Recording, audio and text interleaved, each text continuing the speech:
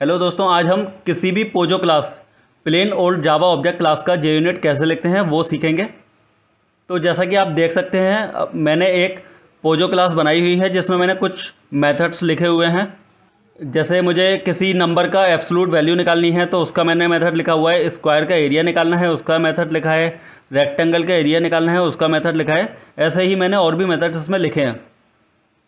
अब मुझे इन सभी मेथड्स का कोड कवरेज करना है। जे यूनिट के थ्रू तो मैं वो कैसे करूँगा? तो पहले तो मुझे जे यूनिट फ़ाइल बनाते कैसे हैं, वो मैं आपको बताता हूँ। आप देख सकते हैं यहाँ पे फ़ाइल का ऑप्शन आता है, मैं एक्लिप्स यूज़ कर रहा हूँ। आप कोई भी आईडी यूज़ कर सकते हैं। ठीक है? तो मैं पहले फ़ाइल पे क्लिक करूँगा फ़ाइल पे न्यू का ऑप्शन आता है, उस पर क्लिक करूँगा। अब यहाँ आप देख सकते हैं जे यूनिट टेस्ट केस तो जब मैं इस पर क्लिक करूँगा तो ये मुझे पूछेगा कि आपको कौन सी फ़ाइल का बनाना है? कौन सी फ़ाइल का बनाना है और उसका पाथ क्या रखना है? तो मुझे इस पर्टिकुलर इस फ़ाइल का जे यूनिट बनाना है और उसका नाम ये रखना है। तो मैं इसके बाद फिनिश पे क्लिक कर दूँगा। तो ये मेरा जे यूनिट फ़ाइल बना देगा। लेकिन मैंने पहले से ही जे यूनिट फ़ाइल बना रखी है, इसलिए मैं अभी इसको कैंसिल कर रहा हूँ।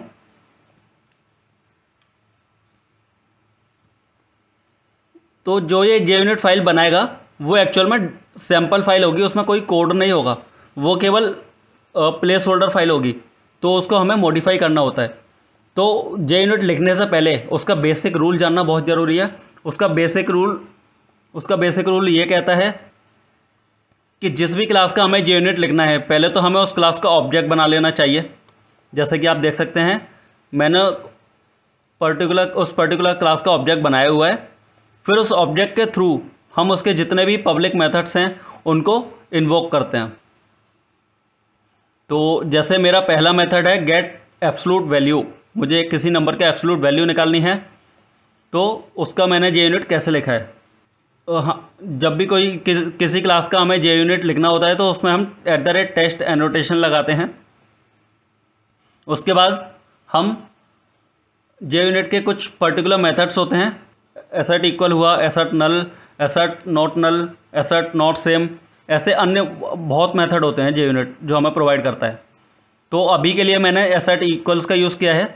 इसमें हम क्या करते हैं? एसर्ट इक्वल्स पे जब हम होवर करेंगे तो ये हमें खुद बता देगा, हमारे पास दो पैरामीटर इसमें होंगे, एक होगा एक्सपेक्टेड और एक होगा एक्चुअल एक्सपेक्टेड पहले आता है और एक्चुअल बाद में आता है। ठीक है? फॉर एग्ज़ाम्पल मुझे जो, जिस मेथड का मुझे जे यूनिट लिखना है उसमें मैं जो डेटा पास करूँगा, वो एक्चुअल डेटा होगा। वो एक्सपेक्टेड नहीं होगा, वो एक्चुअल डेटा होगा। ठीक है? तो एक्चुअल डेटा फॉर एग्जांपल मैंने माइनस वन एक्चुअल डेटा अपने मेथड में पास किया है। अब मैं चाहता हूँ कि ये मेथड माइनस वन का मुझे एब्सोलूट वैल्यू मिले। माइनस वन की एब्सोलूट वैल्यू क्या होगी? वन होगी। इसी तरीके से अब मैंने दूसरा एक और चेक लगाया है एसट नॉट सेम तो अब मैं माइनस टू की एब्सोलूट वैल्यू निकाल रहा हूँ और उसको कंपेयर कर रहा हूँ एक्सपेक्टेड वैल्यू से। ठीक है? तो अब आप देख सकते हैं कि माइनस टू का एब्सोलूट वैल्यू तो टू आएगा, जो कि वन के इक्वल नहीं है। तो इसीलिए ये नॉट सेम में क्वालिफाई कर जाएगा। ठीक है?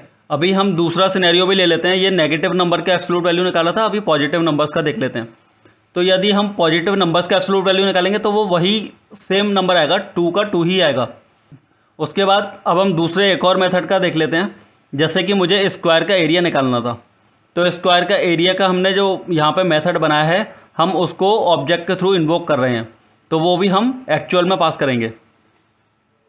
टू का स्क्वायर वैल्यू कितना होगा, वो हमें पता है, फोर आएगा। फाइव नहीं आएगा।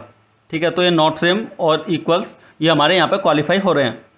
अभी चलिए, अब हम इसको वैलिडेट भी कर लेते हैं। अभी तो मैंने आपको जे यूनिट लिखने का प्रोसेस बताया है। अब हम अपने जे यूनिट को, जो हमारा कोड कवरेज है, वो कितना है, हम इसको वैलिडेट कैसे करें? तो वैलिडेट करने के लिए हम पहले तो जिस भी मेथड का जे यूनिट टेस्ट कवरेज करना चाहते हैं, हम उस पर डबल क्लिक करेंगे, फिर राइट क्लिक करेंगे। राइट क्लिक करके आप देख सकते हैं, यहाँ पे कवरेज एज का ऑप्शन आता है, हम उस पर जाएँगे और यहाँ पे जे यूनिट टेस्ट सेलेक्ट कर लेंगे। तो ये हमें अप, इस पर्टिकुलर मेथड का कवरेज बता देगा कितना हमारा कोड इसका कवरेज है। और यदि हमारा कवरेज 80 परसेंट से ऊपर है तो इसका मतलब हमारा ये मेथड बिल्कुल सही काम कर रहा है और उसकी कोड क्वालिटी भी काफ़ी अच्छी है। जैसा कि आप देख सकते हैं हमारा ये यूनिट कोड कवरेज हो चुका है। हमने केवल अभी मेथड वन का रन किया था test get absolute value one इस मेथड का जे यूनिट रन किया था और ये हमारा सक्सेसफुल रहा है। इसमें कोई ना तो एरर आई है, ना कोई फेलियर आया है। तो हमारा टेस्ट केस बिल्कुल ठीक लिखा हुआ है। अब हम इसका कोड कवरेज और देख लेते हैं। कोड कवरेज के लिए आप देख सकते हैं, नीचे कवरेज का एक पैनल आ जाता है। हम मेन मेन क्लास पे अपने पे जाएँगे। हमारी मेन क्लास का पाथ है। मॉडल्स के अंदर वो फ़ाइल लिखी हुई है। इस पर्टिक इस पर्टिकुलर मेथड का हमारी क्लास के लिए coverage seven point eight percent है। अब हम पूरी क्लास का ही एक बार जे यूनिट रन कर लेते हैं। कोड कवरेज राइट क्लिक करेंगे हम फिर से और कवरेज एज जे यूनिट करते हैं। इस बार हमने मेथड को सेलेक्ट नहीं किया है, हमने पूरी क्लास को सेलेक्ट किया है। तो इस बार जो कवरेज आएगा, वो हमारी पूरी क्लास का आएगा पर्टिकुलर मेथड का नहीं आएगा। आप देख सकते हैं मेरे सारे के सारे टेस्ट केस सक्सेसफुल रहे हैं। यहाँ पे कोई भी टेस्ट केस मेरा फेल नहीं हुआ है। इसका मतलब मेरा कोड बिल्कुल ठीक काम कर रहा है, मेरा जे यूनिट ठीक लिखा हुआ है। और अब हम अपनी जे यूनिट का कवरेज देख लेते हैं, कितना परसेंट कवरेज आया है। यहाँ पर आप देख सकते हैं, मेरी जे यूनिट जो क्लास मैंने लिखी है, उसका कवरेज बिल्कुल हंड्रेड परसेंट है। तो इसका मतलब मेरा जो कोड है, वो बहुत बिल्कुल ठीक काम कर रहा है। और अब मैं इस चीज़ को क्रॉस वेरीफाई करने के लिए अपनी क्लास पर भी जाऊँगा। तो ये आप देख सकते हैं ग्रीन ग्रीन का मतलब पास होता है सक्सेसफुल होता है। और यदि अगर पार्शियल सक्सेस होता तो येलो लाइन आती। और अगर फेल होता तो रेड लाइन आती। तो मेरा जे यूनिट बिल्कुल ठीक लिखा हुआ है। मेरी पूरी क्लास का कोड कवरेज बिल्कुल ठीक है। अब जैसा कि मैंने आपको रूल पहले बताया था, मैं एक बार फिर से रिपीट करना चाहूँगा। जिस भी क्लास का हमें जे यूनिट लिखना होता है, हम पहले तो उसका ऑब्जेक्ट बनाते हैं।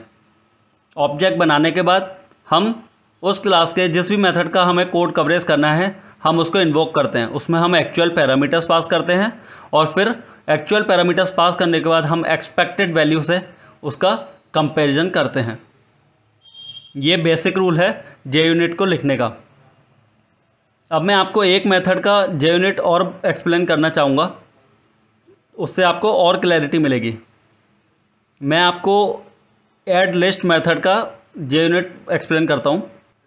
उस जे यूनिट एक्सप्लेन करने से पहले मैं आपको मेथड दिखा देता हूँ। मैंने मेथड क्या लिखा हुआ है? मैंने एक एड लिस्ट मेथड बनाया है, जिसका टाइप लिस्ट ऑफ़ स्ट्रिंग है। उसमें मैंने दो पैरामीटर पास किए हैं। पहला पैरामीटर है, वो लिस्ट ऑफ़ स्ट्रिंग ही पास कर रहा हूँ, और दूसरा पैरामीटर केवल स्ट्रिंग है। तो अब इस मेथड में, अब इस मेथड में मैं क्या कर रहा हूँ? इस मेथड में मैंने जो लिस्ट ऑफ़ स्ट्रिंग है, पहला पैरामीटर है उसमें मैंने सेकेंड पैरामीटर को भी ऐड कर दिया है। मतलब ए लिस्ट जो दूसरा ए लिस्ट जो मैंने पास किया है एट लिस्ट मेथड में उसमें मैंने बी स्ट्रिंग भी ऐड कर दी है। तो चलिए अब इसका हम जे यूनिट समझ लेते हैं। तो पहले तो जैसा मैंने आपको पहले बताया कोई भी क्लास का को, कोई भी मेथड का जे यूनिट जब हम लिखते हैं तो हमें at the rate test annotation लगाना होता है। और बेसिक रूल है कि हम उस हम उस क्लास का ऑब्जेक्ट बनाएँ और उस ऑब्जेक्ट से उस मेथड को इन्वोक करें। आप देख सकते हैं, मैंने एसर्ट इक्वल मेथड लिखा हुआ है, जिसमें मैंने एक्सपेक्टेड वैल्यू को एक्चुअल वैल्यू से कंपेयर किया है। एक्चुअल वैल्यू मेरी, जो मेरा मेथड है, उसमें हम पैरामीटर्स पास करके जो हमें वैल्यू मिलती है, वो एक्चुअल वैल्यू होती है और एक्सपेक्टेड वैल्यू हम खुद बनाते हैं। एक्सपेक्टेड वैल्यू हम कंपैरिजन के लिए बनाते हैं। तो अब आप देख सकते हैं मैंने एक्सपेक्टेड वैल्यू के लिए एक लिस्ट ऑब्जेक्ट बनाया है, क्योंकि हमारा टाइप एक्चुअल वैल्यू का जो टाइप है, वो लिस्ट ऑफ़ स्ट्रिंग है। तो एक्सपेक्टेड वैल्यू का टाइप भी वही होना चाहिए। लिस्ट ऑफ़ स्ट्रिंग ठीक है? अब मैंने एक लिस्ट क्रिएट करी है, जिसमें मैंने कुछ ऑब्जेक्ट्स डाल दिए हैं। तो आप जैसा कि देख रहे हैं कि हमारा पहला जो लिस्ट है, जो ए है, उसमें हमने जो आप जैसा कि देख सकते हैं ऐड लिस्ट मेथड में हमने पहला पैरामीटर लिस्ट का ही पास किया है और दूसरा पैरामीटर स्ट्रिंग का है। तो उसके लिए भी मुझे एक लिस्ट बनानी होगी, क्योंकि लिस्ट में ही मैं एक स्ट्रिंग को ऐड करूँगा। तो मैंने उसके लिए भी एक और लिस्ट बना दी है। ठीक है? अब जो मेरी लिस्ट बनी है, उसमें मैंने एक ऑब्जेक्ट ऐड किया है, डॉग। ठीक है? अब ये कंपेयर करेगा, मेरी लिस्ट को कंपेयर करेगा। एसआईटी जो मैंने ऊपर लिस्ट बनाई थी, उससे ये कंपेयर करेगा। और अगर ये दोनों सेम रहे और एक्सपेक्टेड वैल्यू एक्चुअल के सेम बराबर आया तो हमारा S I equal method successful रहेगा, वरना ये फेल कर जाएगा। अब मैं आपको जे यूनिट को डीबक कैसे करते हैं, वो भी एक बार एक्सप्लेन कर देता हूँ। तो मान लीजिए, मुझे अपनी क्लास एड लिस्ट क्लास को ही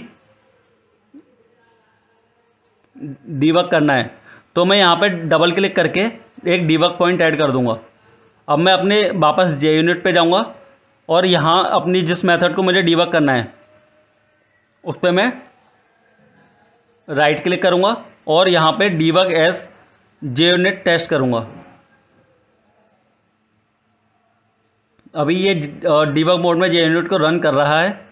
ए में मेरी क्या लिस्ट है? एप्पल बनाना और कैट और बी में क्या है? डॉग अब इसको हम जे यूनिट से कंपेयर कर लेते हैं। तो मैंने एक एल आई लिस्ट बनाई थी, जिसमें आप देख सकते हैं मैंने तीन पैरामीटर ऐड करे हैं, तीन स्ट्रिंग ऐड करी हैं एप्पल बनाना कैट ठीक है?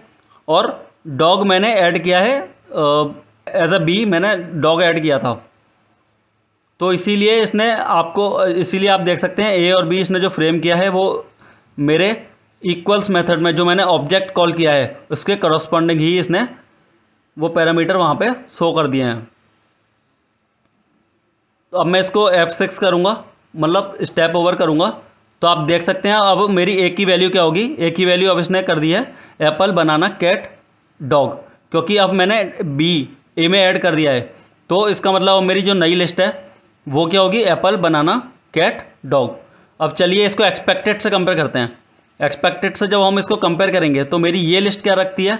इस लिस्ट में एप्पल बनाना कैट डॉग है। इसीलिए मेरा एक्सपेक्टेड और एक्चुअल यहाँ पर सिमिलर है, इसीलिए ये मेरा जे यूनिट सक्सेसफुल है।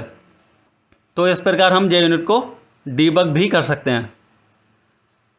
मैं आशा करता हूँ कि आपको पोजो क्लास को कैसे डीबक करते हैं, कैसे जे यूनिट में कोड कवरेज देखते हैं, कैसे जे यूनिट लिखते हैं, इस, इन सब का आइडिया लग गया होगा।